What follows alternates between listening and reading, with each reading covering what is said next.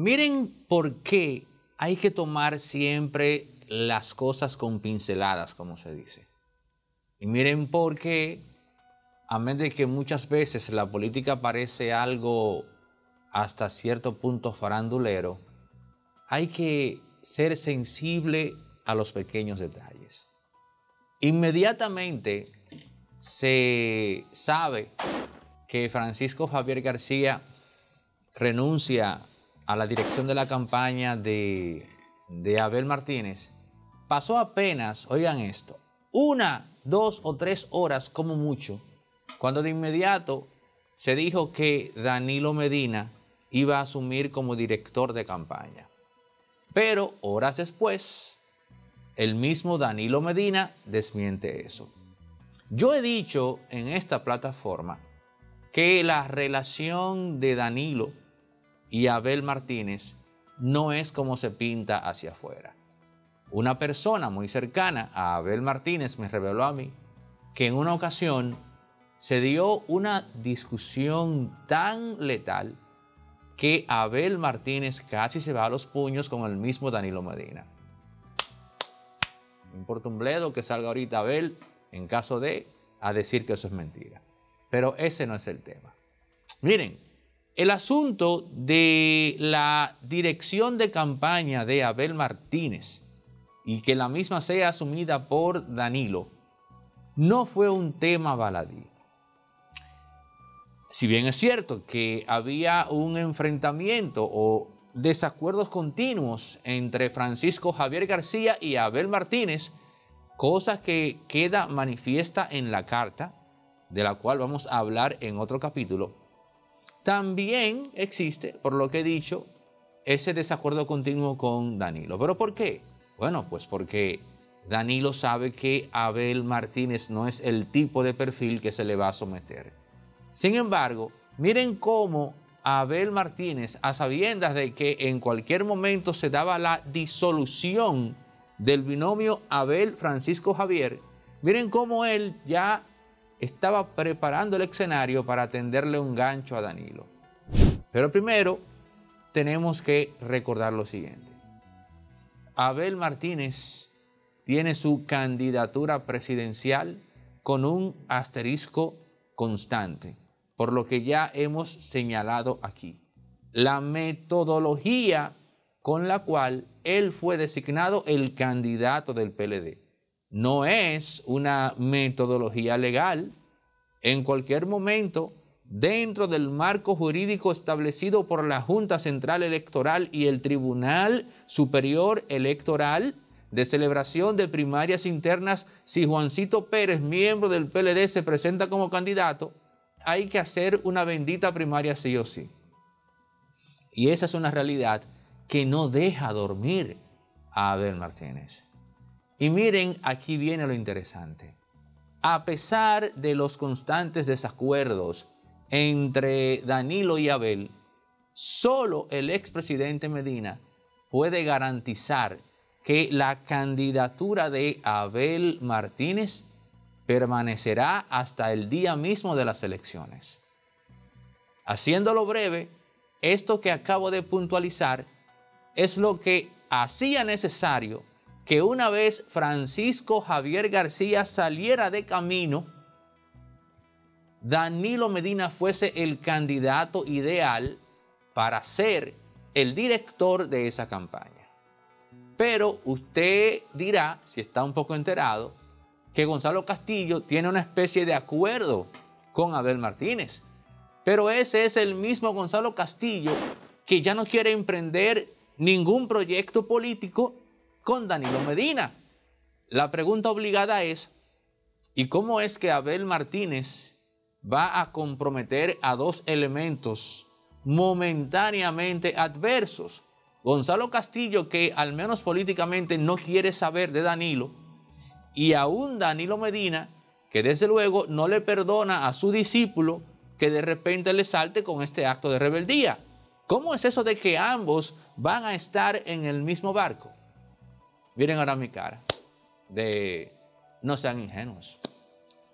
Abel Martínez le tendió una trampa a Danilo Medina. le tendió un gancho con el tema de asumir la dirección de su proyecto. Al asumir la dirección del proyecto, Danilo Medina, no solo como presidente del partido, sino por el hecho de ser la figura de más peso en esa organización, le daba el sello, el sello gomígrafo de candidato legítimo, le daba el aval para Abel continuar tranquilamente. ¿Y cómo Abel Martínez se arriesgó a eso? Danilo, mire, compañero, ahora que no está Francisco Javier, yo dije que era un gancho. Era un gancho porque Abel esperaba que Danilo dijera que sí, para obtener lo que ya he citado, el aval del presidente del partido, para garantizar esa candidatura. Pero en esa misma línea, Abel esperaba que Danilo Medina, por la fuerza de gravedad de su condición médica, se viera obligado a sustraerse de manera forzada de su rol de director de campaña, dejando esto como resultado que la campaña iba a quedar en manos de quién? Bueno, pues del propio candidato, del propio Abel Martínez, que es una de las cosas que señaló Francisco Javier en su carta. Señores, Abel Martínez hizo quizás su más brillante jugada política. Él quería manejar él su campaña. Él sabía que luego de cometer el error de nombrar a una persona con un aval y un seniority como el de Francisco Javier, que solo está quizás ligeramente por debajo de Temístocles Montaz, Danilo Medina, Leonel Fernández, pero esa persona que podía ser una garantía para su campaña era al mismo tiempo el perfil de un individuo que no le iba a coger raya al candidato Abel Martínez porque también Francisco Javier para su foro interno ve a Abel Martínez como el muchacho que quiere ser presidente. Pero no hay problema. Francisco Javier, como un hombre pragmático, no tiene inconvenientes con eso. Puede ser que se le dé el tiro a Abel Martínez y llegue a ser presidente. Vamos a darle. Pero ¿qué ocurre cuando Francisco Javier, trabajando de tú a tú con Abel Martínez, conoce la naturaleza el comportamiento de ese candidato. Y ahí comienzan los problemas. Llega un punto en el cual Abel entiende que Francisco Javier García nunca se va a comportar como su empleado y ya él también, a menos de que Francisco Javier tomó su decisión, él también quería salir de él. Pero entonces, analizando las circunstancias de su candidatura, se da cuenta que él necesita como director de campaña a una persona que tenga un peso, un aval, un seniority, que diga, no, fulano, el director de campaña. Y es ahí entonces donde surge el nombre de Danilo Medina. Pero con el asterisco positivo, si cabe la expresión, de que, bueno, él está enfermo. Si yo coloco a Danilo apostando a que en algún punto la enfermedad lo haga sustraerse del proceso, yo voy a ganar dos cosas. La legitimidad de mi campaña, porque Danilo Medina es el, eh, es el director de, eh, de la misma, pero en el momento que por un asunto médico él tenga que salir de ruedo, yo me quedo con la misma en las manos. Esa era la jugada de Abel Martínez. Sí, se dio una propuesta. Y si se quiere, hasta Danilo lo confirmó. Le propusieron que él dirigiera la campaña. Yo diría que Danilo se la llevó, captó la seña y dijo, no, no, no, deje eso, compañero, un asunto médico, el mismo asunto médico que el mismísimo Abel Martínez esperaba que obrara en su favor para que Danilo saliera de ruedo y le deje la campaña en sus manos a él, que es al final del día lo que Abel Martínez quiere, controlar él su propia campaña. Y que si tiene un director de la misma, no sea más que un muchacho demandado. En síntesis, lo que acabamos de explicar es el gancho, la trampa que se esconde detrás de la propuesta de que Danilo Medina asuma la dirección de la campaña presidencial de Abel Martínez, que con toda seguridad hay que reconocer en Danilo a un estratega que de seguro supo descifrar cuál era la vuelta y como se dice en buen dominicano, no cayó en esa. Y una frase más vulgar aún, no se la bebió. Les tengo una muy buena noticia de Farmacia Medicar GBC. Ya tienen su app. Vayan a Google Play y a, la, tienda de, de, Android y también a la de Apple y descarguen desde ya la aplicación de Farmacia Medicar GBC. Ahí podrán seguir disfrutando a partir de compras de 300 pesos del 20% de descuento en todos sus medicamentos. La Farmacia Medicar GBC llega a tu celular, descarga la app y pide tus medicamentos a través de ella. Farmacia Medicar GBC, la de nosotros los dominicanos. Su pelotedón, su pelotedón, necesito ayuda. Viene el Día de las Madres y no tengo dinero. Lotedón te tiene la solución para que te mantenga frío con la doña. Locutor, Explícale. Con gusto, Superlotedom. Agarra cuatro una vez más te enfría con mamá con un millón semanal. Al realizar tus jugadas de la Garra 4, generas un código para participar por un millón gratis que estaremos sorteando todos los domingos del mes de mayo del 2023. Bien, Pelotedón. Genera tus códigos semanales desde el primero de mayo. Sorteos los domingos 7, 14, 21 y 28 de mayo. Lotedom, tu lotería de las dos.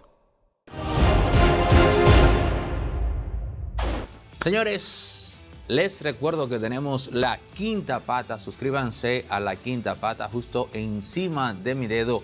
José Maracayo, Fernando González, Edwin Cruz y Mario Herrera hablando de todo, pero no como todos, pero para que sepan de qué va la quinta pata. Acá les dejamos un fragmento de uno de los tantos comentarios que hacen en su canal de YouTube. Pero, Danilo, pero, pero con respeto. respeto. Danilo Medina regresó a la República Dominicana. Parece que comió mucha pizza, mucho hot dog, mucha hamburguesa porque se ve gordito. Está oh, muy gordito. Bueno, la pregunta sería, ¿Danilo Medina está gordito, aumentó de peso o está inflamado o está hinchado por medicamentos? Porque como todos ustedes saben, el expresidente de la República eh, padece de un cáncer y ha estado atendiéndose en los Estados Unidos. Cuando un paciente con, estas, con esta enfermedad está recibiendo radioterapias, quimioterapias, etcétera, etcétera, normalmente los dolores son muy, son muy fuertes y siempre les recetan pastillas y medicamentos para controlar el dolor, que normalmente son cortisoides, que son medicamentos que inflaman y que hinchan el cuerpo. Entonces vi ahí que algunos medios están diciendo que Danilo Medina regresó como nunca, sano, que ya está cruzando ya prácticamente esa etapa de, tan grave del cáncer. Pero yo lo vi, yo lo vi en varias fotos que publicó el Listín Diario y yo de repente pensé que era otra persona, Maracayo. Sí, no, es que... ¿Tú te acuerdas cuando de repente desapareció Luis Miguel? ¿Tú te acuerdas? Y de repente apareció ¿Y qué, cuáles eran los rumores? No, pero ese no es Luis Miguel. Se ve diferente. O sea, así te, ¿no? Y buscaron un doble y etcétera. Y todavía se sigue creyendo la leyenda urbana de que ese que está ahora mismo no es Luis Miguel, que Luis Miguel se murió en un accidente en un carro y que le han hecho de alguna manera estudios de, de, de, cara y demás y finalmente dicen que no es Luis Miguel. Así me pasó a mí con el expresidente Danilo Medina. Parece que hasta se injertó cabello. Tiene un cabello que tú le llegas. A... Mira la foto, mira la foto. pero yo vi la foto y lo que más me llamó la atención fue la, ausencia del bigote y cómo esto le da un rostro totalmente diferente. Pero espérate, pero y tú nomás sé que tú no lo viste gordo o hinchado, sumamente hinchado o gordo. Lo que, sí, lo que... Hasta sin arrugas. O no sé si le pusieron Photoshop en, en el listín diario, pero tiene más cabello, no tiene tantas. regrésate a hace unos meses. Aquí Aquí esto ya de más de 60 y pico, ya casi 70 años debe tener. Aquí se le colgaba. Esto de aquí. ¿Qué tú insinúas que se hizo No, entonces a lo mejor aprovechó que estaba en Miami y se hizo un retoque porque se ve completamente distinto.